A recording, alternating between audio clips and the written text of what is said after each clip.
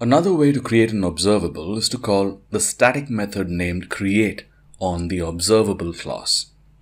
This method accepts a lambda, a lambda that takes an IObserver of t of the same t's that we want the IObservable to be created of and returns an IDisposable. In passing this lambda to the create method, we are really saying to it, please create an IObservable of t for us. But don't run this lambda just yet. For now, please return to us any class that implements the IObservable of t interface and caches this lambda in a private field. And then, when we call the subscribe method on the IObservable of t that you return to us, oh dear create method, we request you to please run this lambda then. That is, upon the call to the subscribe method. And please return to us the eye that this lambda returns to you then. So in effect, we are taking control of what happens inside the subscribe method of the observable we are requesting the create method to create. So I could simply for now pass in a lambda that does nothing but prints something to the console window and returns a simple IDisposable implementation I will create.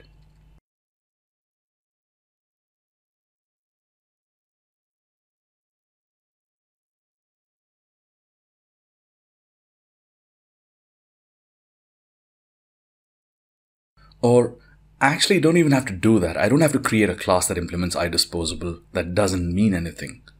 RX already does that for us.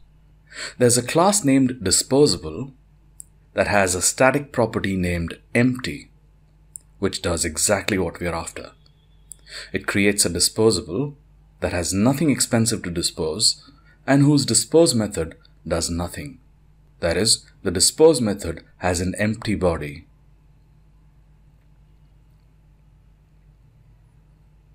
If I ran this bit of code, we'll see nothing happen except our message being printed on the console when we call the subscribe method. The key to note here is that we're really defining what happens when we call subscribe on the created observable. Now let's make the code a bit more useful. In the subscribe method, we know that an observable is supposed to produce values and notify its observers of those values. So in the lambda, we're supposed to do just that. We have an observer, and for every call to the subscribe method, a new instance of the iObserver of t is created by Rx, and it is passed to our lambda.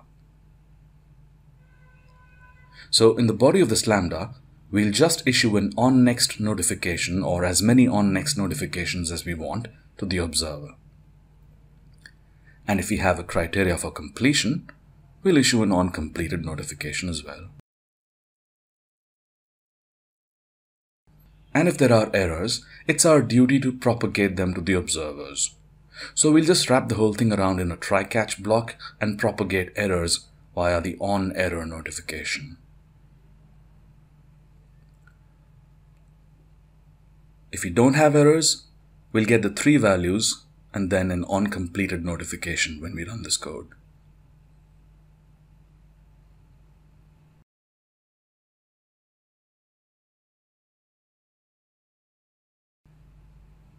Now let me modify the program to raise an exception.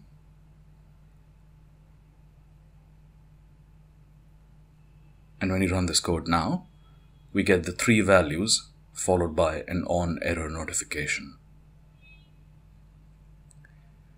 Please also note that the observer in this case is safe.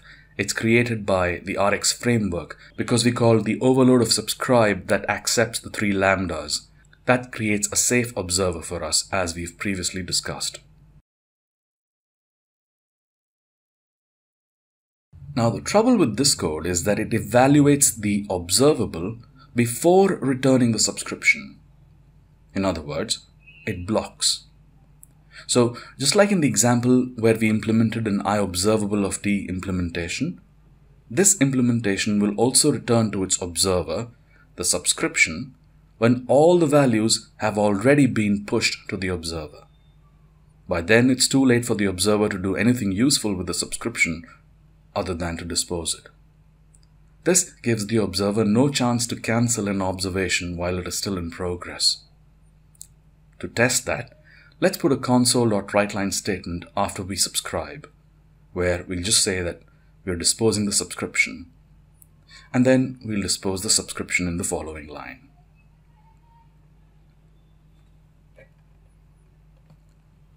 Let's run this, and we see that all the values were received and the completion message also printed. And then our message about the subscription going to be disposed got displayed. So this blocked the current thread. Of course, like in the previous example where we implemented a custom iObservable of t, here also we can create a non-blocking implementation by using a timer. Let's do that.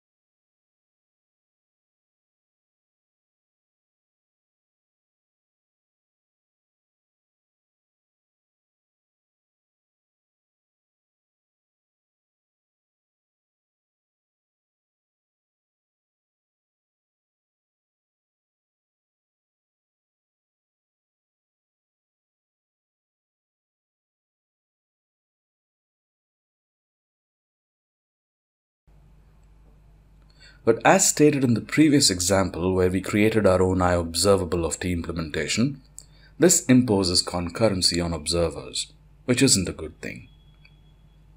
So a better implementation is to use one or more of the inbuilt operators provided by RX to introduce lazy evaluation of this observable sequence without blocking the current thread and without imposing any kind of concurrency on the client. Because as we'll see later, the client code can dictate concurrency to observables.